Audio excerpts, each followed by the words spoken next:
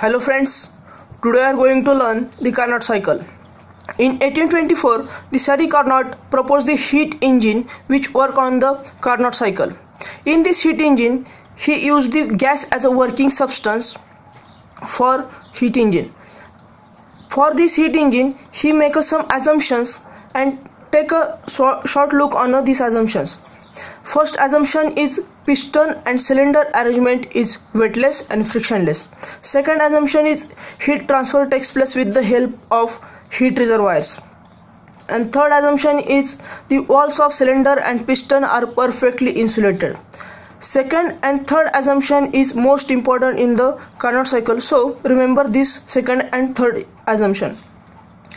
In the Carnot cycle, there are four processes involved in the Carnot cycle. Two are the isothermal processes and two are the reversible adiabatic processes.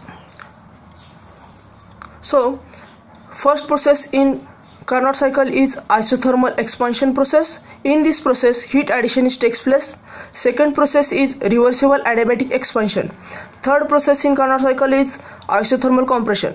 In this process, heat rejection is carried out and Fourth and last process is reversible adiabatic compression. Before going to study the Carnot cycle, note down the four notes which are helpful for understanding the Carnot cycle.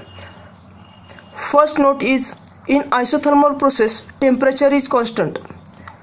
Second note is in reversible adiabatic process there is no heat transfer between system and its surrounding. When there is no heat transfer between system and surrounding, the change in entropy is zero or process is carried out at constant entropy. And third and fourth uh, notes are no, known to all of us. So look the note 3 and 4. Pressure is inversely proportional to the volume and fourth note is temperature is directly proportional to the volume means as temperature increases volume increases. And in third note pressure is uh, I said pressure is inversely proportional to the volume. So as pressure increases volume decreases or pressure decreases volume increases.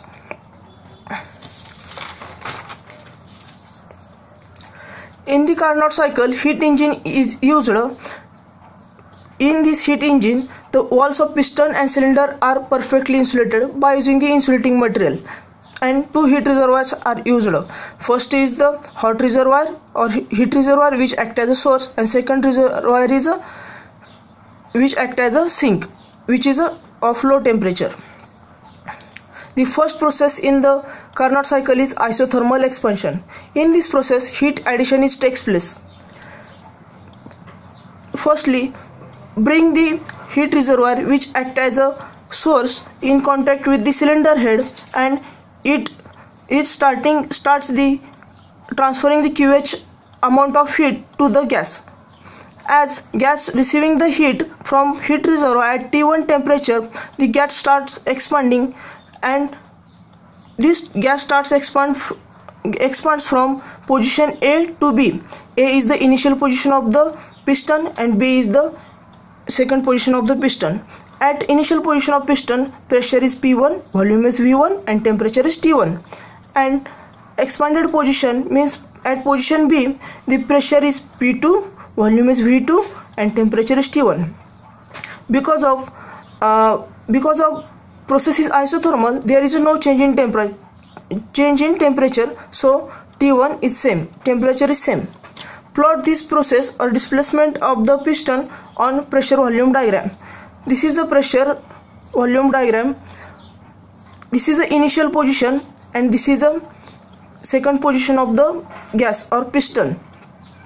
As gas receives the heat from the heat reservoir, the volume starts increasing and as volume starts increases, pressure start decreases. So the process can be represented by the curve A to B like this. So, second process in the Carnot cycle is reversible adiabatic expansion. Reversible adiabatic means there is no change in temperature or entropy or there is no transfer of heat between system and surrounding so for this remove the initial reservoir and insulating cover bring in contact with the cylinder head of the system because of this there is a restriction between transferring heat between system and surrounding. So there is this process is carried out at in adiabatic manner. As already heat is transferred to the gas as gas as heat is already transferred to the gas the gas starts continues expanding from B to C. C is the next position of the piston. And at this position P3 is the uh, pressure is P3 volume is V3 and temperature is T2 look at these temperatures. There is a change in temperature but because of adiabatic process there is no change in entropy. Plot this process on PV diagram. This is a increase in volume from position of piston from B to C. So as increasing volume so decrease in pressure so from B to C there is an increase in volume and in decrease in pressure. Increase in volume and decrease in pressure.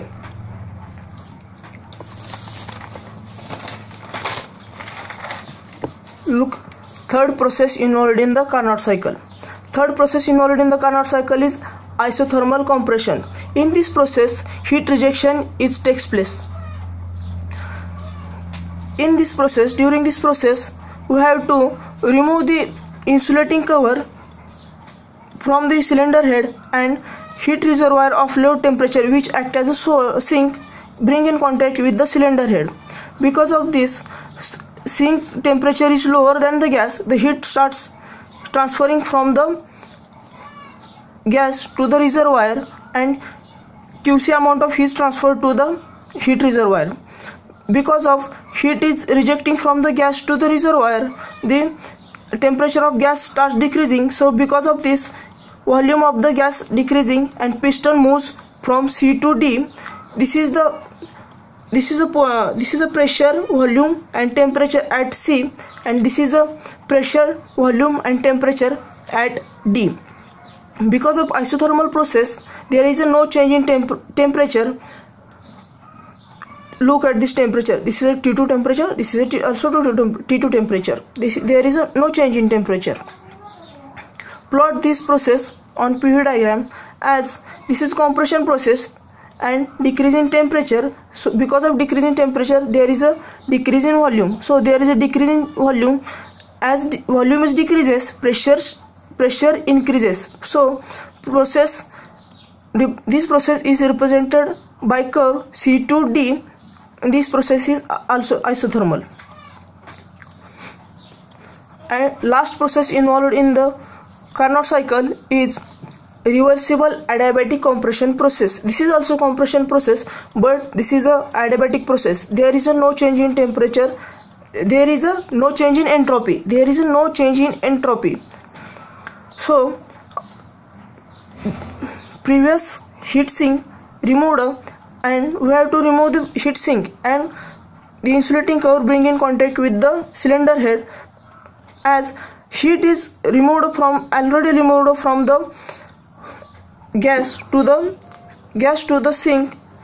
Because of this the temperature of the gas decreases and gas starts continues to uh, continues to compressing and uh, the new position or initial the new position is the initial position of the piston. So initial position the gas brings to the initial position p1 v1 and t1 we can plot this process like this on pv diagram. Bring bring to the initial position. Gas compresses compresses adiabatically. So there is a decrease in volume and increase in pressure. So join point D and A like this.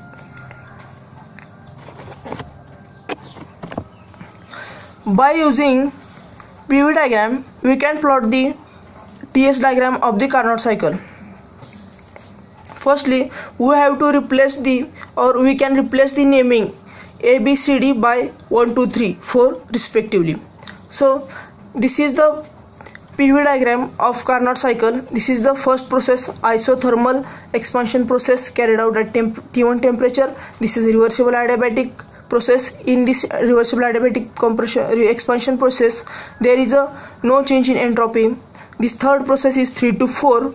This is also isothermal compression process and carried out at a constant T2 temperature. And this is the last of process 4 to 1 which is carried out at constant entropy this is a reversible adiabatic compression process. Using this PV diagram we can plot this TS diagram. So look at this first process from point 1 to 2. This is a isothermal process means process carried out at a constant temperature. Take a point 1 at this location and draw constant temperature process up to 2 horizontally left to right this is the this is the isothermal process. So this carried out at a constant temperature. During this process qh amount of heat is added. Qh amount of heat is added to the system and gas gas starts expanded. Gas starts expanding. From 2 to 3 this is this process is plot 2 to 3 process. Process 2 to 3 is reversible adiabatic process means there is a no change in entropy process carried out at constant entropy. This is our entropy on this x-axis is entropy and y-axis is temperature. So at constant entropy plot the 2 to 3 process. At constant entropy we can plot the process vertically downward up to point 3 so next process is isothermal compression. Isothermal compression process is carried out at constant temperature. So draw the horizontal line from 3 to 4 from right to left.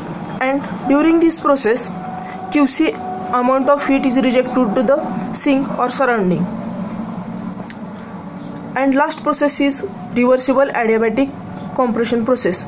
In this process the entropy is constant so and so join the 4 point to up to the 1 vertically upward so we have we have seen the how to plot the TS diagram by using the PV diagram.